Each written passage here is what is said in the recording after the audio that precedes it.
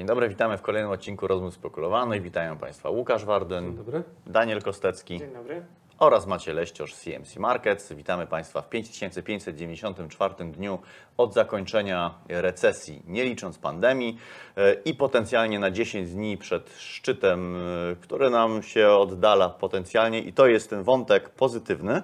E, O tym sobie jeszcze powiemy, jakie tutaj są perspektywy, ale zaczynamy nie od Stanów Zjednoczonych, bo oczywiście tutaj mówimy o recesji w Stanach Zjednoczonych e, w kontekście naszego licznika, ale nasz wątek świat w różowych okularach zaczniemy od innej ważnej gospodarki, od gospodarki chińskiej.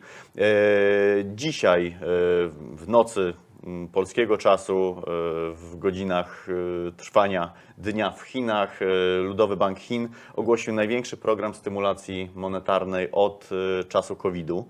E, no, zasłużony tak naprawdę i potrzebny program, no bo gospodarka chińska ma się bardzo słabo. E, Tamtejsze aktywa na tle, jak sobie porównamy choćby z amerykańskimi akcjami czy europejskimi, no to bardzo, bardzo mocno zostały w tyle. E, Więc tutaj rynek te wszystkie problemy gospodarcze również wyceniał. No i teraz jest szansa na poprawę i na odwrócenie się tych trendów właśnie w Chinach.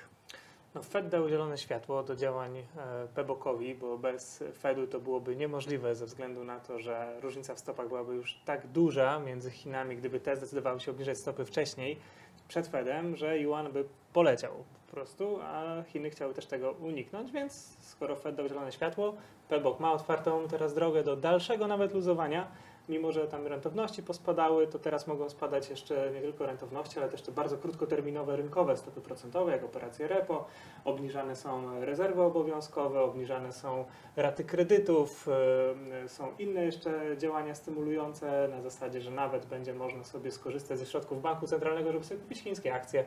Proszę bardzo, nawet takie pomysły. Da się? Da się. można, można oczywiście.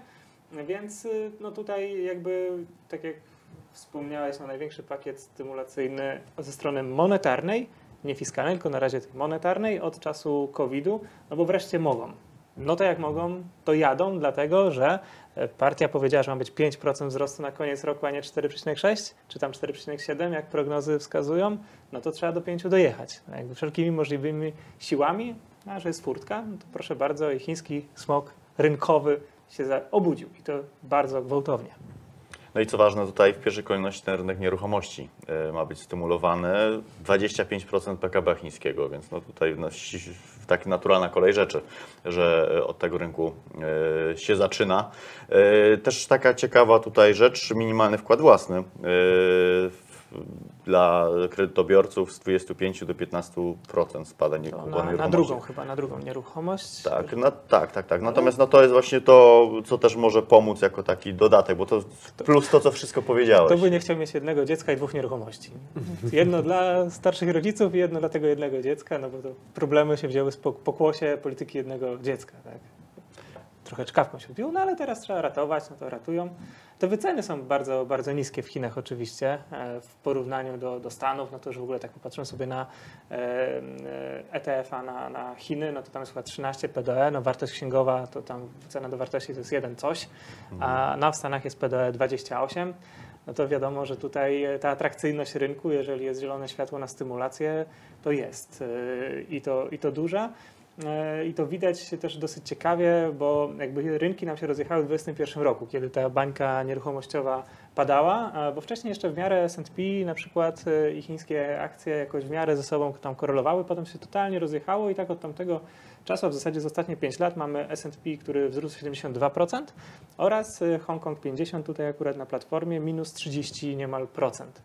No i teraz taka ciekawostka, czy to zacznie się w jakiś sposób albo zjeżdżać, albo czy Chiny chociaż zaczną gonić na przykład słabiej rosnący e, S&P, czy tutaj ten, ten kapitał będzie nadganiać te straty, bo może wreszcie. No, też to, to minus 30 jest związane z tym, że jednak ten kapitał regularnie wypływał stamtąd, no bo tutaj zachęt ze strony e, amerykańskiego rządu za wiele nie było, żeby inwestować akurat tam, więc to też jest, to nie odwróci się akurat wcale tak łatwo, e, no bo toż nawet przez różnego rodzaju ograniczenia e, do, do inwestowania już te środki w, takiej, w takich wartościach nie wrócą. No ale jak będzie potencjał, to na pewno, jeżeli będzie się tylko dało, to ta kasa będzie tam płynąć.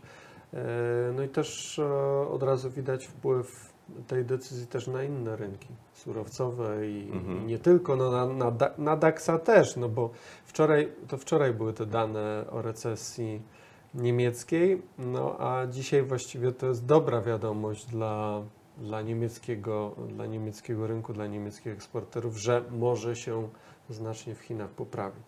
Zaraz jeszcze wątek niemiecki rozwiniemy, natomiast tak, tak w tym wątku może optymistycznym to chcę powiedzieć nie do końca będzie pasowało, ale warto przypomnieć, że już były w międzyczasie od tych problemów chińskich programy stymulacyjne, przecież nawet zakaz krótkiej sprzedaży, e, dodatkowo wsparcie dla rynku właśnie akcji, e, szereg tych inicjatyw było podejmowanych.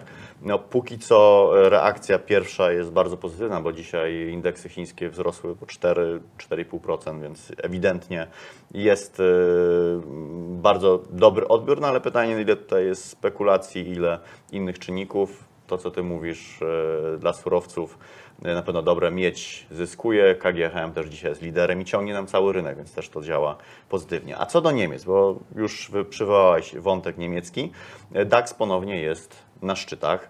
Yy, I to jest ciekawe właśnie. Sobie przejdziemy jeszcze dzisiaj do tych fatalnych danych niemieckich, no to nam nie pasuje w tym wątku naszym optymistycznym, więc powiemy o tym na sam koniec. Yy, Ale yy, sam fakt, że DAX znajduje się na szczytach jest zastanawiający. Już wielokrotnie poruszaliśmy tutaj ten temat, jak bardzo oderwana jest gospodarka niemiecka od DAX-a, w zasadzie DAX od gospodarki niemieckiej. No bo tutaj takie spółki jak SAP czy Siemens, no to jednak 80 ponad procent mają przychodów poza rynkiem niemieckim, ale tak samo Allianz, Deutsche Telekom, czyli T-Mobile, który mocno prężnie działa w Stanach, no to też y, większość stamtąd. Y, ale y, takim faktycznym wskaźnikiem tego, jak działa gospodarka niemiecka i jakie spółki tutaj przede wszystkim z tej gospodarki niemieckiej czerpią, jest MDAX, czyli spół, taki nasz odpowiednik MWIG-u. Widać, u nas jest odwrotnie, u nas to Tak, u nas właśnie MWIG, SWIG sobie radzi lepiej. 20. Tak.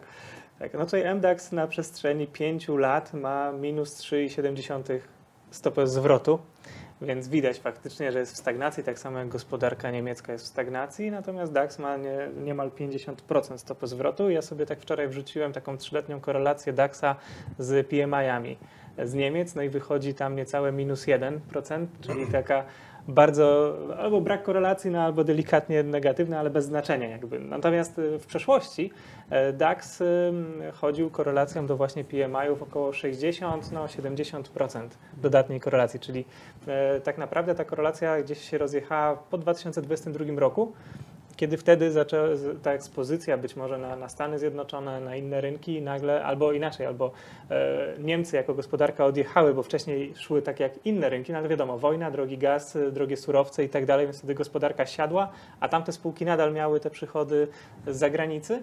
No i tak się to odkleiło, ale faktycznie MDAX o wiele lepiej koreluje z gospodarką Niemiec, więc jak ktoś chce mieć trend boczny i nie wiem, wystawiać sobie opcje góra-dół i zgarniać premię, no to na MDAX-a można szukać takich instrumentów, bo, ale też jest taka, też tak sobie zostawiłem, e, właśnie tak pomyślałem, no dobra, MDAX, czyli małe spółki, no ale Stany też mają małe spółki i e, mamy DAX-a, mamy S&P.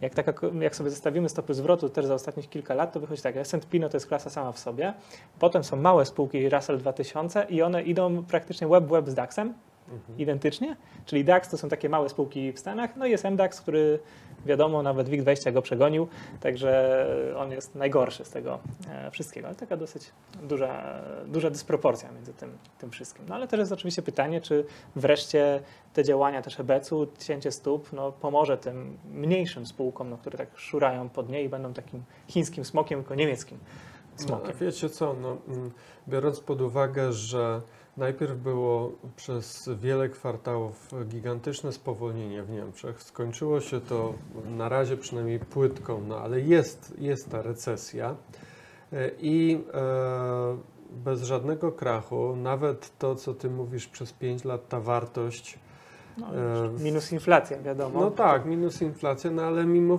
przy jeszcze takich stopach procentowych, jakie były, no to jakiejś tutaj wielkiej paniki nie było. Mhm. E, No można by oczekiwać, że mogłoby być o wiele, wiele gorzej przecież, no bo naprawdę te, te spółki mają się kiepsko.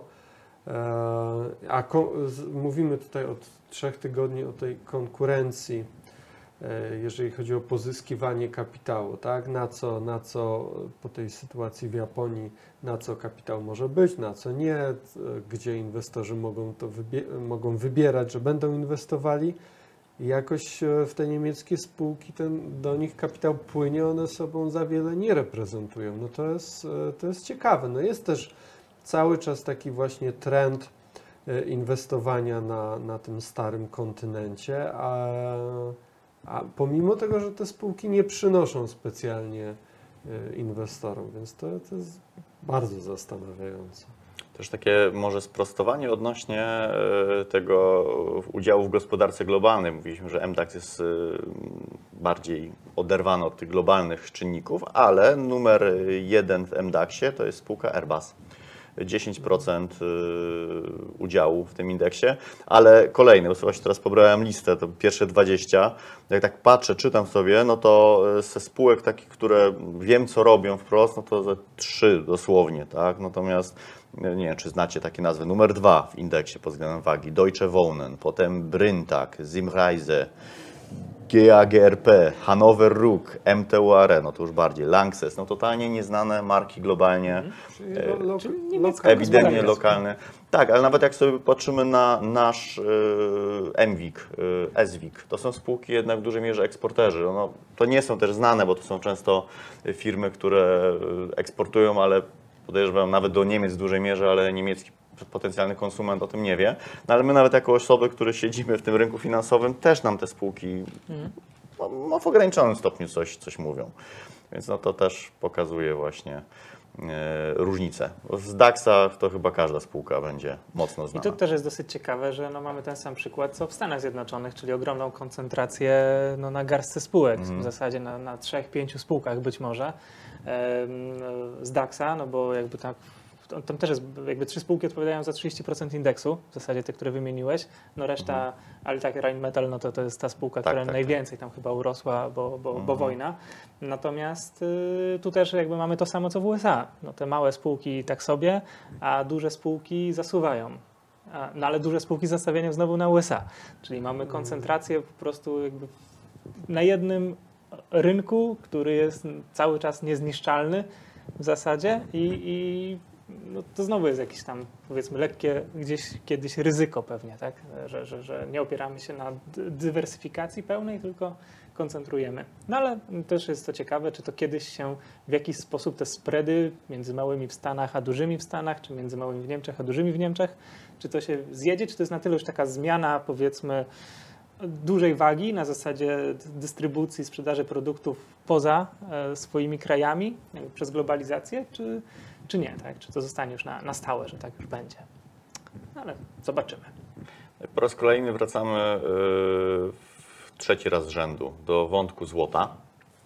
Trzeci nasz temat na dziś. Y, Mówiliśmy o tym trzy tygodnie temu. Tutaj y, profesor Borowski zresztą wspomniał o rynku Indii, właśnie o zaczynającym się tam okresie e, ślubnym, kiedy e, import wzrasta. Tydzień temu też ten temat e, złota rozwinęliśmy, a dziś mamy kwestię importu potwierdzoną na papierze. Rzeczywiście dane potwierdzają, że ten import jest rekordowy, no i też to e, dodatkowo wspiera te rekordowe ceny złota w tym momencie już e, z, potencjalnie nawet gdzieś tam w, w kanale, w tym wzrostowym, jeżeli się to utrzyma, to nawet y, nie można wykluczyć, że trójkę zobaczymy za jakiś czas z przodu, bo to w szalonym tempie rośnie. No właśnie warto zwrócić uwagę na to tempo, że jakby skala i kąt nachylenia tego wykresu e, no staje się coraz bardziej stromy i to zaczyna przypominać e, takie już FOMO troszeczkę. Mhm. Kto nie ma złota, no to, to, to, to już zaraz szybciutko leci je kupić i o tym też sobie powiemy e, na końcu. E, Natomiast oczywiście no, posiadacze złota, których pewnie jest niemało, a wręcz dużo, powinni się z tego faktu cieszyć, że, że tak to zasuwa. Chyba 10 tysięcy już przebiliśmy d- w pelenach e, za uncję złota, więc to też jest taki krok milowy powiedzmy w, w notowaniach na tym rynku. No i ciekawe, jak poradzą sobie też spółki nasze giełdowe właśnie, które zajmują się dystrybucją e, złota. Tam jakiś czas temu jakaś drobna afera wybuchła w tym temacie ponownie, no bo jakby trzeba pamiętać o tym, że my mamy złe skojarzenia co do inwestycji w złoto ze względu na Amber Gold. E, niemniej jakby teraz chyba jest to bardziej ucywilizowane, nawet fizycznie je, je kupując, bo papierowe złoto też e, jest rozchwytywane.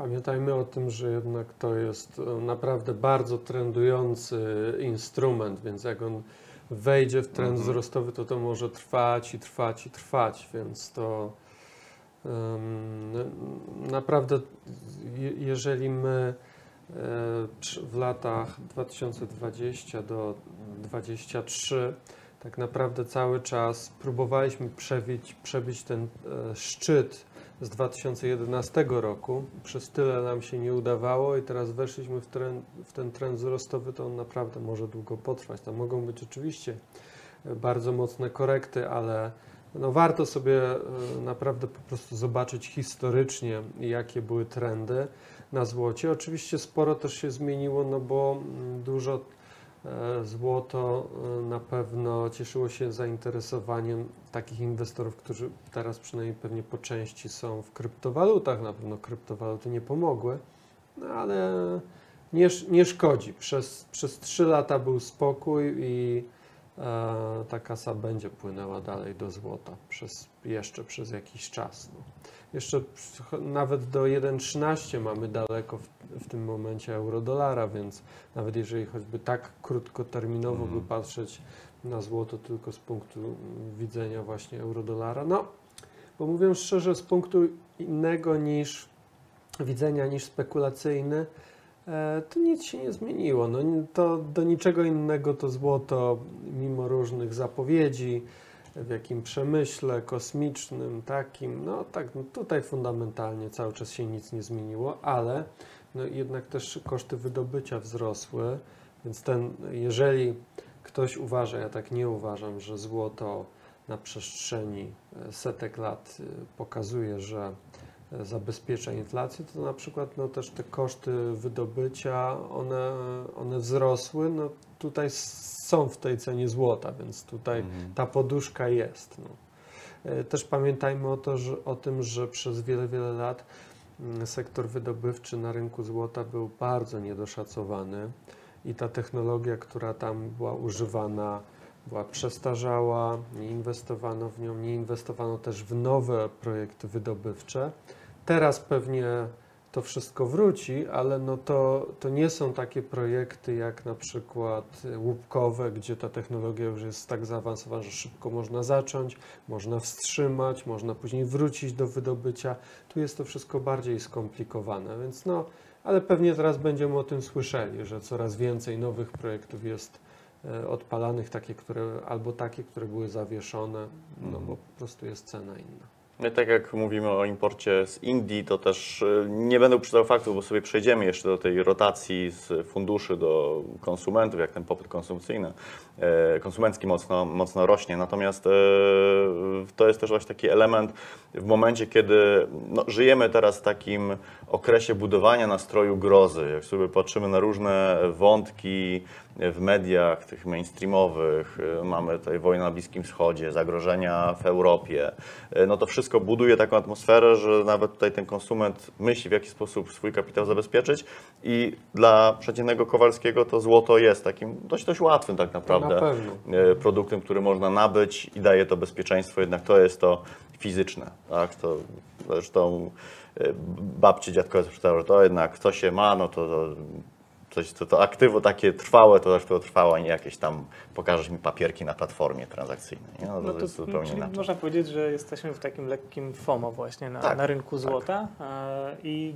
do tej pory faktycznie, jeżeli ten popyt był, no to był taki dosyć umiarkowany, teraz się rozkręca, bo też e, no, często gdzieś te obrazki migają, e, które trzeba na razie póki co lekko korygować na zasadzie, że podaż pieniądza rośnie i tak dalej, ale to rośnie dlatego, że rosną oszczędności gospodarstw domowych i gospodarstwa domowe na razie mają w głowie albo kupić sobie obligacje, albo kupić sobie złoto. I też tak jak patrzymy na podaż pieniądza, czy w Chinach, czy w Indiach, to tam też wiemy, że detal bardzo mocno jest zaangażowany na rynku złota, więc każde każde odło- odłożone pieniądze albo pójdą sobie w obligacje, tak jak w Polsce, no ten popyt jest bardzo duży, mimo wszystko na obligacje skarbowe, no ale też jest prawdopodobnie duży na, na złoto. E, Więc jakby jest to zrozumiałe, że wtedy wzrost podaży pieniądza w tej mierze no nie idzie już w ryzyko, nie idzie w akcje, bo nie, nie widzimy w Polsce napływu do akcji, nie widzimy na przykład w Polsce, żeby nie wiem, szturm na krypto był, w ogóle nie widać szturmu na krypto. Na razie być może, te luzowanie banków centralnych jeszcze coś pobudzi i na tym rynku, ale widać, że gospodarstwa domowe, które się przejechały być może też na, na, na tym zjeździe e, Hossy po 2021 roku, może część była zainwestowana mocno w ryzyko, stwierdziła nie, nie, nie, złoto jednak mało spada, jak rośnie to więcej, tak? I, czyli drawdowny są po prostu na razie póki co e, takie. No ale o, jeszcze sobie o, tym powiemy, jakie są ryzyka też związane z tak gwałtownymi wzrostami. I kolejny wątek, y, tak płynne przejście z tego, co ty powiedziałeś, czy nie będzie jakiegoś hypu na polskie akcje. Żabka wchodzi na giełdę, mamy potwierdzenie, mówiliśmy o tym już w przeszłości razy, bo te plany się pojawiały, były spekulacje na ten temat. Wczoraj oficjalnie y, Żabka potwierdziła zamiar wejścia na y, parkiet warszawskiej giełdy. Y, jako pozytyw na pewno to, że mamy absolutną posłuchę, jeżeli chodzi o rynek IPO w tym roku. Ani jedna tak naprawdę spółka nie weszła na y, główny parkiet, nie debiutowała. Jedynie było przejście tutaj z y, New Connect Blooper Team na początku tego roku, potem w zasadzie nic. Y, Więc no jakiś przynajmniej no, końcówkę roku mamy niemalże, zaraz wchodzimy w ostatni kwartał tego roku, więc dobrze, że przynajmniej coś się pojawiło i to taka nazwa trochę jak Allegro swego czasu, tak, znana wszystkim, biorąc pod uwagę, że no, trochę mamy inne czasy akurat niż, niż w Allegro, ale być może będzie zainteresowanie też ulicy w tym przypadku. Y, Może się tutaj szykować spora redukcja, jeżeli to zainteresowanie będzie. No też pytanie, ile będzie dostępne dla y, inwestorów indywidualnych. Natomiast no, sam fakt, że taka spółka wchodzi jest ciekawe. Też y, trochę nam mogło to oczekiwanie odsysać kapitału z rynku. No być może też dzięki temu teraz wróci, jak już wreszcie IPO nadejdzie. Ja nie wiem, czy to jest do tego wątku, ta, ta żabka, która wchodzi, mówiąc szczerze, bo no wchodzi e, o dużej kapitalizacji podmiot, który właśnie może wysysać kapitał, e, a żabka wchodzi w momencie, gdy no wiemy na jakim jest etapie rozwoju i Mhm. oczywiście te plany są jeszcze na otwieranie dalszych tysięcy pewnie, no ale ja bym, ja bym wolał, żeby y, ten debiut był jakiś czas temu i żeby właśnie nie skończyło się tak jak na Allegro, no bo to jest bardzo, bardzo późny, późny debiut, naprawdę na- w takim już stadium rozwoju. Oczywiście w tej historii e, rozwój zagraniczny, e, nowe rynki, e, ale wiem, wiemy jak to jest, każdy rynek jest dość specyficzny, to nie będzie takie łatwe. No, no, myślę, że się bez problemu sprzeda.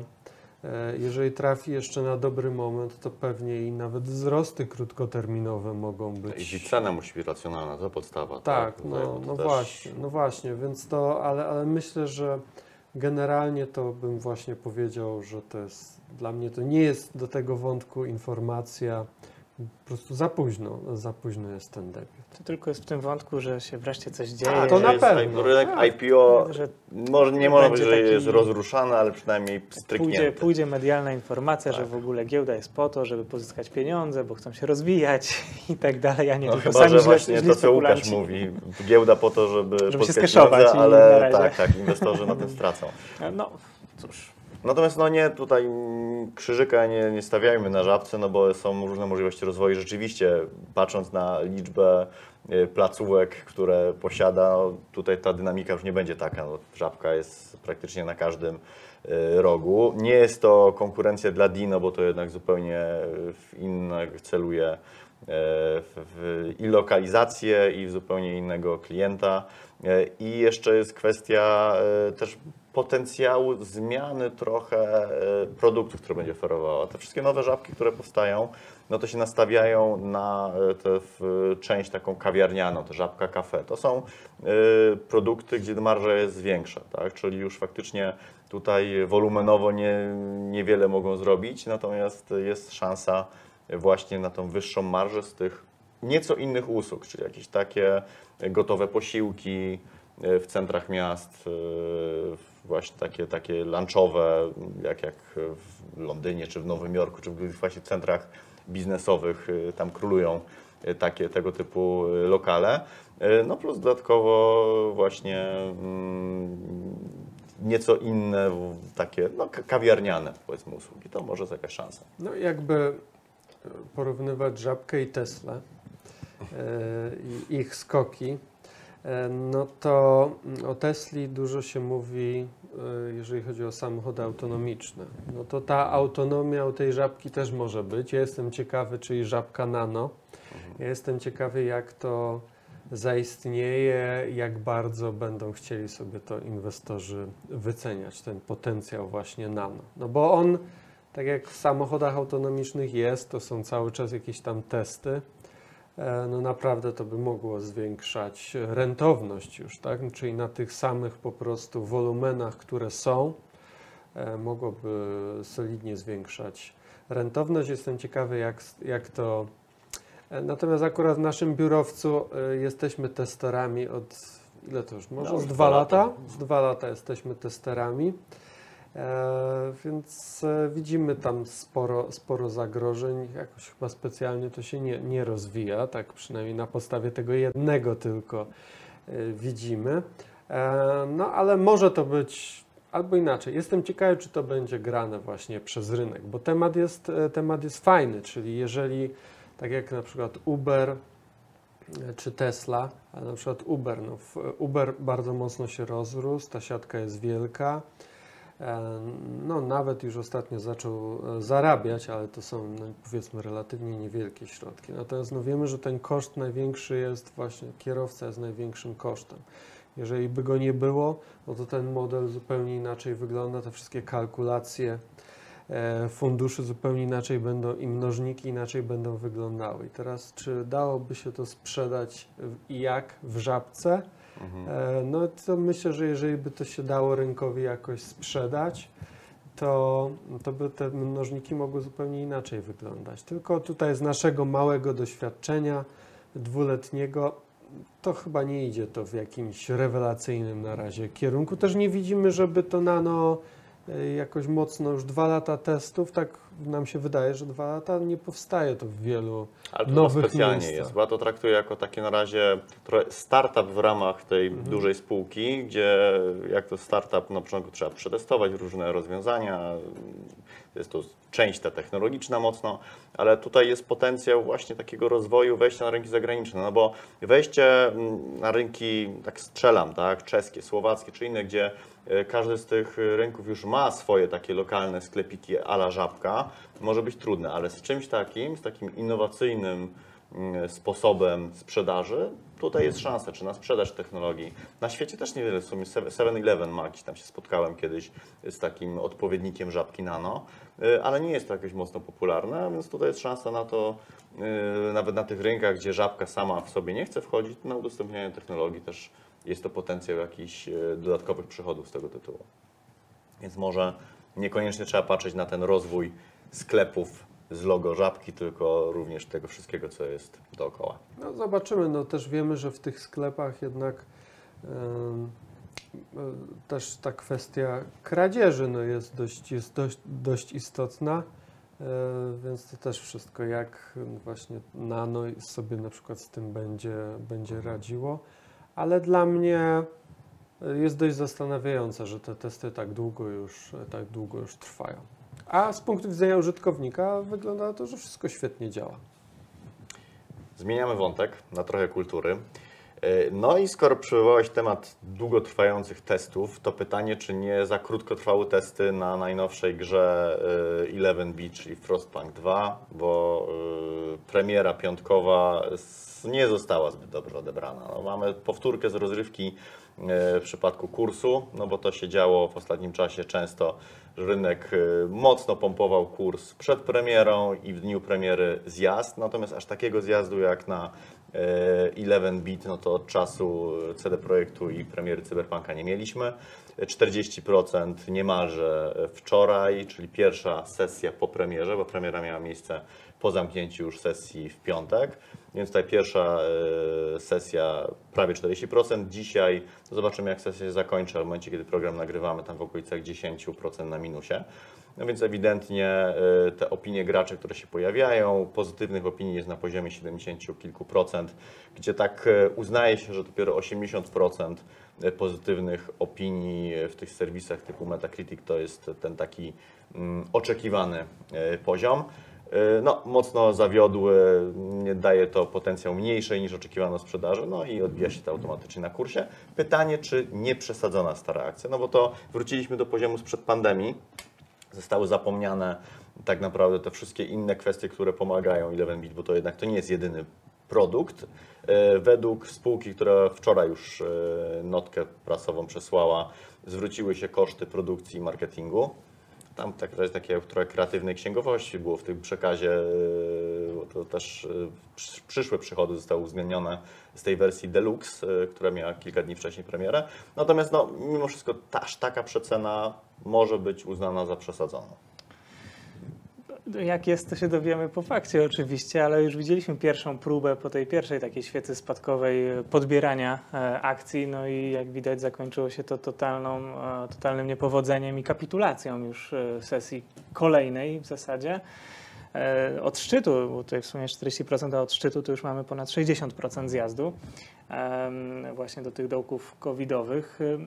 No jak widać, no dosyć ciężko jest em, jakby inwestorów y, i graczy w jakiś sposób em, zadowolić. Chyba są bardzo wybredni e, i e, trafić w ich gusta. E, Faktycznie testerzy przede wszystkim, tak, czy projektanci gry, no, mają tutaj dosyć dużą zagwozdkę, no, ale też przez to, że idziemy mocno międzynarodowo, jakby każda gra no, musi mieć na iluś tam rynkach być wypuszczona, to no to jest też dosyć trudne, żeby sprostać e, i trafić w gusta jedną grą e, w różnych miejscach na świecie, bo jedni wolą, mają takie preferencje, inni mają takie preferencje, jedni się wkurzą, że za trudne, inni powiedzą, że za łatwe, a my mamy jedną grę, e, więc jakby tutaj tych zmiennych może być całkiem dużo. No ale cóż, no ja na razie też jak patrzę czy na, na CD Projekt chociażby, tam też była piękna fala wzrostowa, ale na razie też przygasła i na CD Projekcie no to też nie wygląda zbyt dobrze, żeby to miało jeszcze jakoś nie wiadomo jak wysoko iść, a chyba jak tam nie pójdzie, to i reszta też nie pójdzie. Więc takie rozczarowania mogą się powtarzać, a hype był. No z 500 zł nawet w tych ostatnich, ostatnim rajdzie do 700 e, podjechała cena akcji 11 bit. No i pewnie ktoś wtedy sobie dumpował te akcje, czekając na premierę. Ale chyba taka strategia sprzedawać przed premierą to jest najlepsza na, na grach, jak widać, bo te nadzieje są, a potem pryska wszystko. A tu jeszcze e, w perspektywie nadchodzących tygodni kolejna premiera gry The Alters. Tutaj 11-bit. Dwie premiery ma jedna po drugiej, więc no to też pytanie, czy teraz jeszcze drugi już raz nie będzie pasy, tak? Może, może, ale e, poprzez 11-bit dostają inne spółki. Blooper Team wkrótce ma mieć e, premierę e, Silent Hill, remake'u Silent Hill 2 e, i już z- trochę z wyprzedzeniem rynek się akcji pozbywa, no bo też mamy spadki no, kilkuprocentowe tutaj dzisiaj, więc e, ewidentnie jest reakcja. No problemem polskiej branży jest to, co było, e, no nazwijmy to błogosławieństwem, że mają bardzo małą dywersyfikację swoich produktów. Więc jak e, wszyscy chcieli mieć te spółki, no to łatwo, łatwo było optymistyczne scenariusze rysować do jednego tytułu i na tej podstawie te wskaźniki sobie dopasować i później spekulować, ale jak już zaczyna się coś gorzej dziać, no to wszystko bazuje na tym jednym, jednym produkcie, nie ma dywersyfikacji i wtedy to wszystko pokutuje. No więc to jest, to jest problem naszej, naszej branży. Nic dać, nic ująć. No Nic po prostu dla inwestorów o mocnych nerwach, jak widać, Mhm. e, którzy są w stanie albo to zdzierżyć, albo wierzą długoterminowo w, w dane projekty, w daną spółkę. No dobra, jak nie teraz, to za trzy lata się odkuje. No, to, jak widać, gorący kapitał jest e, do pewnego momentu, a potem to już zostają, jak to zazwyczaj na giełdzie, albo się zarabia, albo jest inwestorem długoterminowym. Także. No i e, wczorajszy przykład pokazał, że łapanie spadającego noża jest ryzykowne, można się skaleczyć, bo nawet było widać e, w pewnym momencie faktycznie kurs się zatrzymał. Trochę się pomylił tam w okolicach e, 360 zł. Wzrosły w tym czasie obroty. Wydawało się, że to może być ten moment i znowu zjazd. Dzisiaj luka cenowa otwarcie. E, Więc bolesna lekcja. Nie łapiemy spadających noży. Jest to ryzykowe. Podobny kazus jak na naszych e, spółkach e, gamingowych może być na biotechnologicznych, bo też są małymi spółkami, bazują zazwyczaj na jednym patencie, na jednym produkcie. Może być podobnie. Jeżeli, jeżeli byłby taki super właśnie hype, Mhm. one bardzo by mogły iść do góry jako indeks cały, e, no a później z uwagi na to, tym bardziej, że tutaj w ogóle to już jest szybciej jeszcze. We, znaczy, to jest, weryfikacja trwa długo, ale jak już nie dochodzi się do pewnego etapu, albo jak się polegnie na jakimś etapie, to jest po, może być po prostu koniec. Ale, ale też zobaczcie, że jesteśmy już w sumie taki jak trochę na rynku amerykańskim. Jeden dzień i pełne dyskonto być może, albo dwa, trzy dni pełne dyskonto, a nie mielimy się po minus 2% sesji na sesję, tylko jest boom, fajrant, tak? Bo tam pewnie tacy inwestorzy są międzynarodowi, nie? też indeksowo i Ale to słuchajcie, narzekamy cały czas, że ten nasz rynek polski jest tak daleki od amerykańskiego, a tutaj mamy ten fragment właśnie amerykańskiego rynku technologicznego, czyli to, co się tam dzieje właśnie dynamicznie, takie wyprzedaże na Nasdaqu. Nie ma widłowego, który pozwala yy, i, i tam pozwala się na zejście kursu na, ale nawet o 80%. Do, Mamy. dobrze, że to zrównoważyli przed otwarciem w miarę szybko, no bo to w miarę szybko było zrównoważone, no ale No a płynność była gigantyczna wczoraj, więc tutaj też to ułatwiło sprawę. Przechodzimy do innego wątku, e, wątku mądrych głów. Dziś mądra głowa e, z Azji, z Japonii. E, W piątek mieliśmy posiedzenie Banku Japonii. Zgodnie z oczekiwaniami stopy procentowe bez zmian. Natomiast gubernator Banku Japonii już później wypowiadał się w takim tonie raczej umiarkowanym, że w dalszym ciągu ta normaliza- normalizacja polityki e, monetarnej japońskiej przed nami, natomiast w swoim tempie, w swoim czasie, e, trochę jak Jerome Powell swego czasu, tak raczej tonował nastroje. no, tonował nastroje, bo rozwalili rynek japoński, także tonują jak tylko mogą. E, Natomiast y, powiązałbym jeszcze ten Bank Japonii właśnie z tymi Chinami e, na chwilę, bo co się zadziało z Bankiem Japonii, to wszyscy wiemy, że zostało zwinięte w jakimś stopniu, albo w dużym, albo w mniejszym. No, na kontraktach terminowych w całości zostało zwinięte carry trade, bo tam już nawet inwestorzy grają pozycje długie na jenie, już się przestawili wajchę. Natomiast nie wiemy, jaka jest inna skala w innych miejscach e, tego carry trade. Natomiast każda normalizacja polityki Banku Japonii, podnoszenie stóp będzie dociskać tak, tą, tą śrubę, plus obniżanie stóp przez Fed będzie dociskać na zamykaniu pozycji carry trade. I właśnie w powiązaniu, i to jakby co to powoduje? To powoduje delewarowanie pozycji na innych rynkach, no bo na kredyt nakupowano akcji, obligacji, wszystkiego innego za granicą, za jeny. Więc delewarowanie powoduje, że, te, że, ten, że rośnie podaż na tych aktywach. Natomiast y, jeszcze właśnie w tym wątku chińskim był też motyw tego, że chińskie firmy, instytucje miały zakupić aktywów zagranicznych za kwotę ponad 2 bilionów dolarów. To jest niemal 10% PKB Stanów Zjednoczonych. I też pojawił się taki artykuł na koniec sierpnia, jak dobrze kojarzę, czy tam z miesiąc temu, no co będzie, jak właśnie zacznie się zmiana e, działania właśnie Chin i na zasadzie takiej, że w Chinach pojawi się zielone światełko, że dobra, koniec dołowania tego rynku. No i jeden krok mamy. I teraz, jeżeli teraz Japończycy delewarują inne rynki albo instytucje po prostu oddają jeny, to mogą być też instytucje amerykańskie, to nie muszą być japońskie, które te jeny oddają. I teraz Chińczycy zaczną delewarować inne rynki, no to mamy piękny miks e, powrotu kapitału tam, skąd wypłynął, czyli do jena, do juana, a cała reszta, a wiemy, gdzie jest cały, wszystkie pieniądze świata, gdzie są, no w AI-ach, tak? Więc pytanie brzmi, czy da się, czy, czy to będzie kolejny taki krok azjatyckiego delewarowania ogólnoświatowych e, rynków finansowych, zwłaszcza tych z najwyższymi wycenami.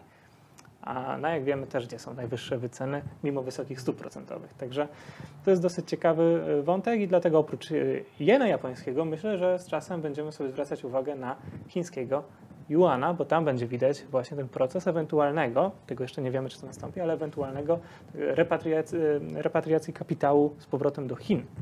nie tylko do, do Japonii. Czy w zasadzie już wątek. rozpocząłeś ten nasz pierwszy wątek negatywny Tak. z czarnej melancholii, to to może teraz oficjalnie nazwijmy to czarną melancholią, no bo faktycznie jak e, jednemu zaczyna być lepiej, to drugiemu musi być gorzej. Tutaj to, ten bilans musi być zachowany.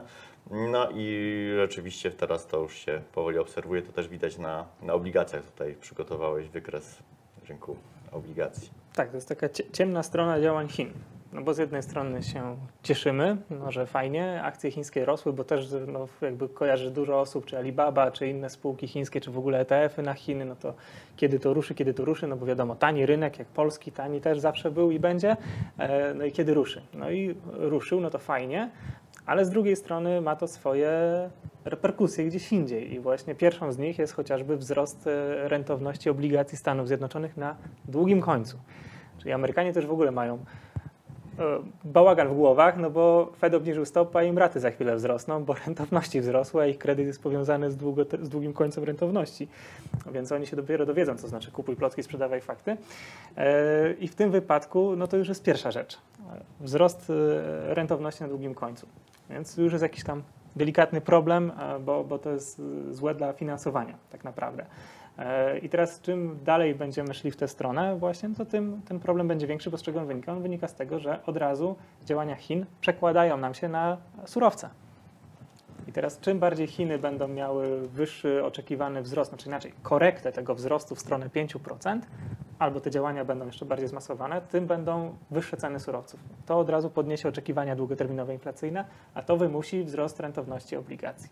No i zacznie się problem, no bo tu z jednej strony fajnie, bo spadały, a z drugiej st- stopy spadają, rentowności na długim końcu rosną, krzywa się robi stroma, a to rodzi w ogóle jeszcze szereg innych problemów, o których powiemy sobie, jak już one zaczną być gdzieś tam, jakby wyjrzy nam na, na światło dzienne. Także Chiny, surowce, e, inflacja, e, znowu ten temat może powrócić, mm, plus rentowności na długim końcu w górę, no i powrót tego kapitału ewentualnie do, do Chin, co oznacza kaszowanie e, rynku na przykład amerykańskiego. No i my mamy, jesteśmy w takiej sytuacji, że dzisiaj i wczoraj bardzo się cieszymy, bo miedź wystrzeliła, KGHM idzie do przodu, E, ale my jesteśmy jako kraj jednym z niewielu, gdzie te stopy nie są obniżane. E, No dopóki ten dolar nam słabszy będzie, to równoważył, ale ten, przy wysokich stopach, jakie my mamy i czekamy na nie, polska gospodarka czeka na niższe stopy. E, Wiemy, że do grudzień, styczeń to będą te lokalne cały czas uwarunkowania, które uniemożliwią spadek, mm, znaczy utrzymają tą, tą dynamikę wzrostów cen. Pomimo tego, że się cieszymy ze wzrostów potencjalnych cen miedzi, to jeżeli miałby być e, jakiś konkretny trend wzrostu cen surowców, to dla naszego rynku giełdowego to by nie było dobre, bo, bo myślę, że e, przyklasnęliby w RPP, że, że mają kolejny argument za tym, żeby nie obniżać stóp, Mhm. na przykład w drugim kwartale przyszłego roku. Więc to dla naszej giełdy może wcale nie być dobra, dobra sytuacja. No plus druga kwestia. y, Teoretycznie poprawa sentymentu wokół Chin mogłaby pomóc innym krajom rozwijającym się, czyli właśnie Polsce, ale tutaj mamy ten efekt właśnie y, tego wysysania kapitału, wzrostu rentowności, czyli to dla, ważnego dla nas inwestora amerykańskiego w przypadku WIG-20. I to też może być z kolei zniechęcające. I tak samo e, tutaj zmieniając wątek na złoto, bo raz jeszcze dzisiaj chcemy o złocie powiedzieć, ale tym razem w tym świetle negatywnym, e, te rosnące e, rentowności też nie są dla złota korzystne, a dane pokazują, że zmienia się relacja. To, o czym już dzisiaj napomknęliśmy, czyli coraz więcej tej ulicy kupuje złoto. E, No i właśnie jak tutaj na slajdzie jest widoczne, czy ulica nie zgasi przypadkiem światła. Tu, tu mamy właśnie jakby na wizualizacji napływy do funduszu ETF, tego największego GLD w Stanach Zjednoczonych, gdzie inwestorzy indywidualni w zasadzie od początku 2024 roku porzucali e, jednostki uczestnictwa, gdy cena złota rosła. No co się okazuje, w tym samym czasie hedge fundy na kontraktach zaczęły otwierać coraz to więcej pozycji długich. Czyli hedge fundy kupowały, a ulica na tym GLD sobie sprzedawała, sprzedawała, sprzedawała, czyli sprzedawała hedge fundom. No, jak popatrzymy na cenę, no to hedge fundy miały rację, bo cena urosła, a ulica została z tyłu. No i od trzech miesięcy ulica już wrzuciła 3,5 ponad bilion, e, 3,5 miliarda dolarów w ten ETF. Gdy hedge fundy są prawie przy rekordach e, pozycjonowania na długo na złocie. No i skoro wtedy mogły zawrzeć pozycję chociażby dzięki, no, powiedzmy tak wizualnie, tak, ulicy, która sprzedawała, no to teraz być może hedge fundy sprzedadzą ulicy, która kupuje. No i poczekają, aż cena znowu zawróci, żeby móc kupić taniej, jak ulica zacznie to sprzedawać. E, No i ta ostatnia fala, oprócz właśnie tych czynników makro, no bo wiadomo, spadają realne stopy procentowe, ale to już wiedzieliśmy praktycznie no, w grudniu, ja nawet gdzieś tam odgrzebałem swój wpis, że już w grudniu było w miarę wiadome, że realne stopy będą spadać, no bo takie jest założenie. Tak? I złoto już to też no, na pewno w jakimś stopniu wiedziało. Banki centralne kupowały złoto. E, Teraz te lokalne czynniki typu Indie, tak? czy Chiny, duży popyt e, wcześniej. No i teraz jeszcze ulica na giełdę się rzuca. No jakby to już są wszyscy w jednym momencie e, tak naprawdę i skala wzrostu no też nie jest byle jaka, tylko właśnie ten kąt nachylenia wykresu też jest bardzo, bardzo duży. I tak się zacząłem zastanawiać w tym takim pesymistycznym scenariuszu, czy właśnie, no jak to zazwyczaj, exit liquidity nie jest robiony na ulicy. No i proszę bardzo, jest ulica, sprzedajemy. Ale to zobaczymy też na kontraktach z czasem, czy to pozycjonowanie faktycznie zacznie się tak zmieniać. Ale tutaj jednak y, zaczęliśmy, bo to są mocno w kontraście do tego, co mówiliśmy w pierwszej części. Tak, Ten tak, no bo- scenariusz jednak y, z wątku różowego wciąż jest w grze. O, zdecydowanie, no też e, no, mówiliśmy o tej konsolidacji, no to, to myślę, że nawet jeżeli krótkoterminowo będą jakieś duże zmiany, to jednak trend, trend jest O, konkretny i on, on przytrzyma i mamy do tego wszystkiego w, w dużym zakresie właśnie te mocne e, ręce e, w postaci zakupów banków centralnych. A też e, pamiętajmy, no tutaj są, są konsultacje, jeden, to są wszystkie banki są od siebie niezależne, ale naprawdę jeden na drugiego patrzy. Bazylei.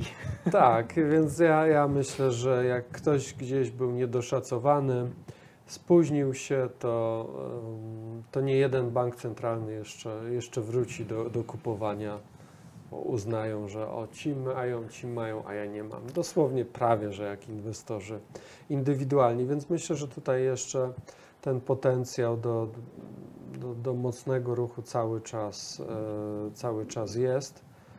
E, no, no my mówimy dużo właśnie o tej konkurencji, o spekulantów. To jeszcze tylko tak na, na krótko wrócę do, do polskiego rynku, bo właściwie polski rynek nie wytrzymuje e, konkurencji pod względem stóp, choćby stóp zwrotu, bo to może być nawet dosłownie banalna sytuacja, jeżeli my historyczne mielibyśmy dobre stopy zwrotu do wykazania, to łatwiej by było ten kapitał przyciągnąć.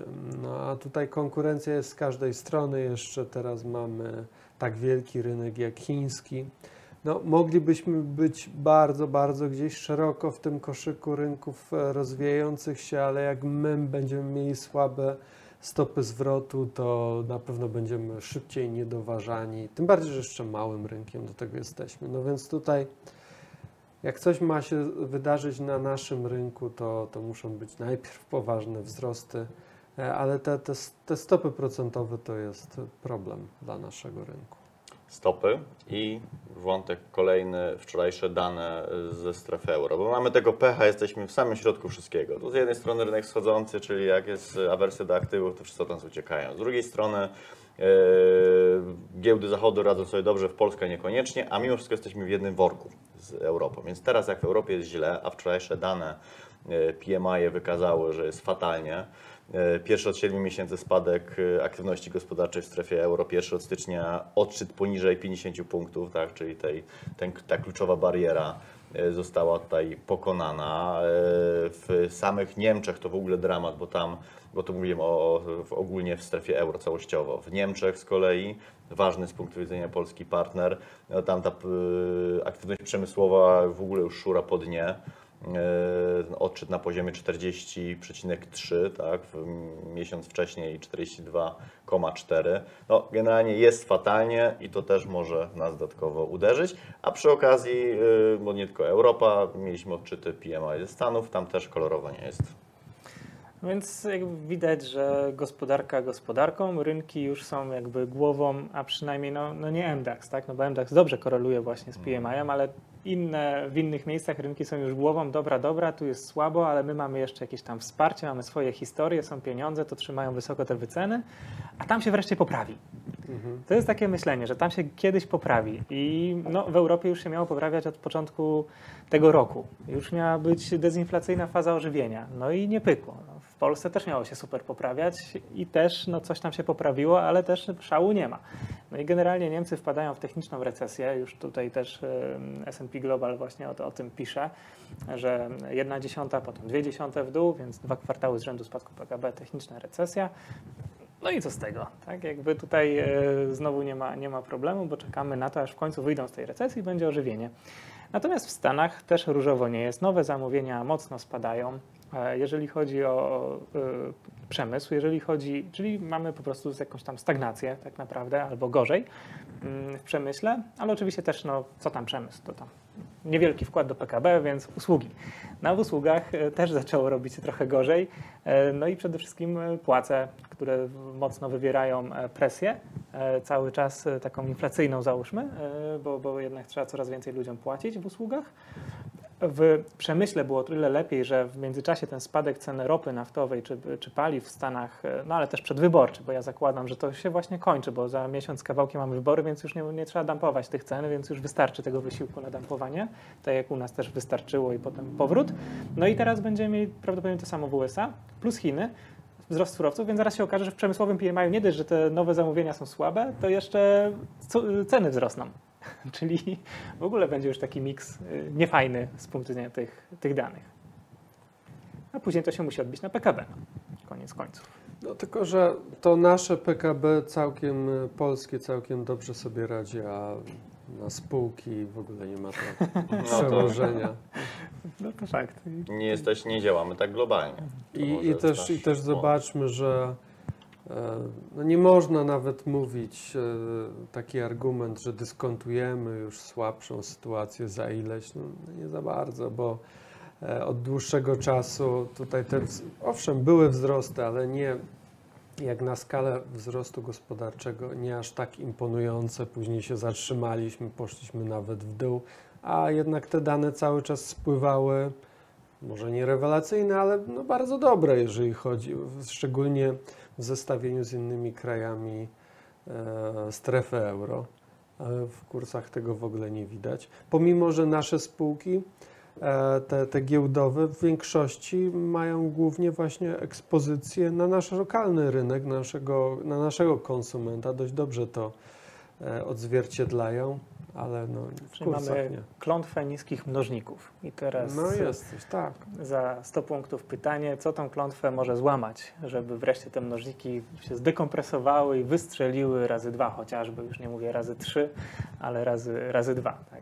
No Czego też no, na pewno wysokie stopy wyciągają, wyciągają kapitał i to po, i też polski, i zagraniczny w te jednak bezpieczne instrumenty. Widać to po złotym zresztą bardzo dobrze sobie cały, cały czas radzi. No to, to pokazuje, że ten popyt jest, tylko e, nie ma, nie ma chęci na, na większe ryzyko, jak takie dobre stopy zwrotu są na, na bez, relatywnie bezpiecznych instrumentach. No i są inwestorzy y, na rynku polskim dyskontują w dużo y, szerszym horyzoncie czasowym na przyszłość. Tak można to podsumować. Ale mamy też y, jeszcze kończąc wątek złych danych, negatywne zaskoczenia z rynku pracy w Stanach Zjednoczonych. Tak, no to jest taki indeks, tak jak jest indeks zaskoczeń makro generalnie, to też jest indeks zaskoczeń makro dla rynku pracy, taki subindeks indeksu, no i on jest najniżej pomijając COVID, o, tam po 2011 roku był tak samo nisko jak jest obecnie, czyli generalnie e, ta sytuacja się pogarsza, a nie poprawia względem oczekiwań. No i też na grafice mamy e, pokazaną stopę neutralną bezrobocia, tą, którą definiuje CBO i stopę faktyczną bezrobocia, która sobie tak fluktuuje tam od 50 lat góra-dół, góra-dół. No i y, co teraz y, Fed sobie wpisał w swoich projekcjach? Sobie wpisał, że ta stopa nie przekroczy 4,4, czyli tyle, ile idealnie CBO nam mówi, że powinna ona być neutralna, no bo dziwne, żeby Fed sobie wpisał wyższą stopę, to by znaczyło, że jest porażka w polityce monetarnej. Na to, no i swoją drogą było 50 punktów cięcia. Natomiast y, ja tu zaznaczyłem na wykresie, ile razy Fed odniósł porażkę w doprowadzeniu stopy z dołu do stopy neutralnej No i generalnie raz tylko mu się udało w latach 70. na początku doprowadzić od dołu tą stopę bezrobocia do stopy neutralnej w punkt i tam ona została, a potem sobie nawet spadła. Czyli super. Natomiast y, no to jest 10% szans, że się Fedowi uda. Jakby Fed ma track record y, fatalny w tym, a ciekawe jest to, że 90% rynku wierzy, że się uda. Mając 10% szans, że się uda dosyć ciekawe. No może się uda, może się nie uda. Jakby, jak ludzie grają historycznie na jakieś tam paterny, że okej, od tam kwietnia do lipca to gram to albo tamto, no i tam patrzą, no dobra, mam 90% szans, to to zagram, a tu mają 10% szans i oni to grają. To jest dla mnie zastanawiające. Może się uda, może będzie 2 na 10, zobaczymy. No skoro Daniel już o tym przypomniał, to myślę, że trzeba tutaj yy, rozwinąć temat stóp procentowych. Yy, Taki wątek czarnej melancholii tylko dla Łukasza i dla mnie, bo Daniel nie pochwaliłeś się w wątku różowym, że faktycznie Twoje yy, oczekiwania względem obniżki stóp były trafione, 50 punktów bazowych, my z Łukaszem Liczyłem, Jednak- że, że przemilczymy to. No, tutaj trzeba uczciwie tutaj Danielowi oddać. E, Fatalna decyzja z punktu widzenia Fedu. Natomiast no, rzeczywiście e, to, co rynek obstawiał, tak się stało. Bijemy się w pierś. Powiem Wam, że jedną rzecz zauważyłem na, na wielu różnych forach. E, takie komentarze właśnie, nazwijmy to ulicę, ale po prostu inwestorów indywidualnych na e, różnego rodzaju wypowiedzi e, inwestorów, analityków, które były bardzo niedźwiedzie, czy albo jakieś reakcje na otwieranie przez kogoś krótkich pozycji. I mnóstwo było, większość komentarzy było właśnie takich, jak ma, może być źle, albo jak można teraz otwierać pozycję na spadek, skoro Fed tak mocno obniża stopy, przecież to chyba jest logiczne, jeżeli stopy są niższe, to będzie lepiej. No, bardzo mnie, przyznam, że mnie to zmroziło, bo tych komentarzy było mnóstwo. E, No nie jest to wszystko takie proste. Ważne też jest jednak z jakiego pułapu na rynkach akcji startujemy, bo jak startujemy ze szczytów, to jest trochę inna sytuacja niż gdybyśmy byli na samym dnie i te stopy miały, byłyby obniżane. Więc tutaj lampka mi się, to dla wszystkich to było w, w różne wątki, różnych e, analityków, różnych wypowiedzi prześledziłem. No to zmro, zmroził mnie ten, to przekonanie o tym, że to jest takie proste.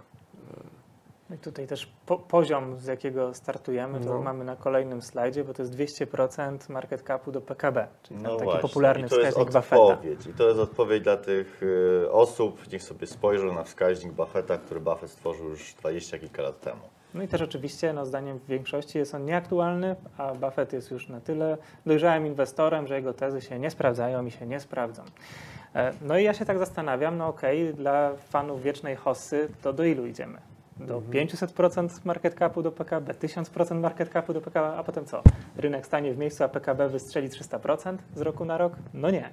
Więc e, jakby tu nie widzę takiej logiki wiecznej hossy. Gdzieś za, musi zacząć gonić nam ta, te mnożniki muszą się obniżać i teraz mogą się obniżać na dwa sposoby. Albo spadną ceny, bo wyniki nie, nie zostaną dowiezione, albo muszą, muszą, musi ta cena rosnąć wolniej niż rosła do tej pory, a wyniki muszą zacząć to gonić. Tak? No to i, na, i nie ma innej drogi. Jakby w, chyba dochodzimy pomału do takiego momentu, że właśnie e, ta mnożnikowa taka hossa musi zacząć się trochę wypłaszczać i ta, ta realna gospodarka też musi gonić, ale ona nie może gonić, bo ona musi z natury spowalniać, tak? No bo jakby Fed musi soft landing zrobić, czyli on musi wyhamować gospodarkę, a nie ją przyspieszyć. Czyli jak zrobić e, redukcję tego wskaźnika w momencie, kiedy gospodarka ma się rozwijać wolniej niż do tej pory, a z drugiej strony akcje, co dalej mają rosnąć szybciej niż do tej pory? No to jakby to się kłóci, to się nie, nie skleja, tak? To akcje muszą jeszcze wolniej rosnąć albo wręcz spadać przy wolniejszym wzroście PKB. A historycznie 200% właśnie kiedy wskaźnik dochodził tam, no to był taki mocny sygnał ostrzegawczy. jest podwójny Jesteśmy szczyt na tym wskaźniku. Znaczy jedno, jedno zawsze tłumaczy e, wzrosty i co może skleić? Po prostu nadmierna spekulacja. No wiemy jak to się kończy, ale z drugiej strony mm, trzeba się cieszyć jak ona jest. Więc to, mm, na, więc to jak najbardziej może nas wynieść krótko, średnioterminowo na o wiele, wiele wyższe poziomy. No nie ma się co wtedy dziwić, że tak będzie. Natomiast e, no, trzeba, trzeba mieć to na uwadze, że e, w pewnym momencie e, będzie to, to sprawdzenie ra, racjonalnie, musi, musi w pewnym momencie to, to zagrać. I, tu, I tutaj musimy też jakby przyznać, że Fed to co robi, robi to z głową, bo co zrobił Fed? No jakby prowadzi cały czas tapering, czyli zmniejsza swoją sumę bilansową. Wiemy, że są dodatkowe źródła tej płynności rynkowej, jak jeszcze to reverse repo, na którym są środki, jak czasami dorzucenie płynności ze strony Janet Yellen, ale generalnie Fed prowadzi to, co może, to na co ma wpływ, to na to ma wpływ, ma wpływ na swój bilans, więc on go zmniejsza. Jakby z czasem tych rezerw w systemie będzie coraz mniej, więc Fed dzięki temu, e, wiedząc, że jeszcze tam nie złamie systemu, tak jak e, e, parę lat temu, no to dojdzie do sytuacji, w której właśnie będzie ograniczać tą spekulację, bo tych środków, jakby tych aktywów rezerwowych będzie coraz e, mniej, więc ta spekulacja będzie ograniczona, ale z drugiej strony obniży stopy procentowe, więc pomoże realnej gospodarce, czyli Fed to, co chce, do czego chce doprowadzić, to do tego, żeby nie było spekulacji, nie było baniek spekulacyjnych, zmniejszając cały czas swoją sumę bilansową, a z drugiej strony pomagać realnej gospodarce, obniżając stopy procentowe. No i teraz w rękach rynku zależy to, czy fakt, i w rękach inwestorów indywidualnych, no bo trzeba pamiętać, że na nich Fed nie ma żadnego wpływu tak naprawdę, co oni zrobią ze swoimi pieniędzmi, bo zachęcał do, do odkładania pieniędzy podczas utrzymywania wysokich stóp, ale co? Pojawiła się AI, no i zamiast trzymać kasę na depozytach, poszło wszystko na giełdę, tak? E, I teraz y, jest taka kwestia, że na to Fed nie ma wpływu. Jakby to, co może robić, robi to bardzo rozsądnie w tym kontekście. I dlatego nawet jeżeli stopy będą obniżane, tapering będzie dalej prowadzony i y, będzie chciał zapobiec powstawaniu baniek spekulacyjnych. No ale czy mu się to uda, to już nie od niego do końca zależy. Czyli Fed robi swoje z głową, my też próbujemy robić swoje z głową y, i próbujemy z głową robić ten program. Czy tam się uda w przyszłym tygodniu, to dowiedzą się Państwo za tydzień. Na dziś już dziękujemy Łukasz Warden, Dziękuję. Daniel Dziękuję. Kostecki, Maciej Leściosz. A może jeszcze jedna rzecz. Y, W sumie y, wątek różowy. Na naszym kanale YouTube przekroczyliśmy 15 tysięcy subskrypcji. Bardzo dziękujemy, a jeżeli Państwo jeszcze nie subskrybują, to będzie nam bardzo miło, jeżeli po- po- pomożecie nam dojść do 20 tysięcy i jeszcze wyżej, bo to jest nasz cel średnioterminowy, nie powiem długoterminowy, bo długoterminowo dużo, dużo wyżej celujemy. Także dziękujemy za wszystkie subskrypcje i zachęcamy do subskrybowania osób, które się na to jeszcze nie zdecydowały. Dziękujemy i do zobaczenia za tydzień.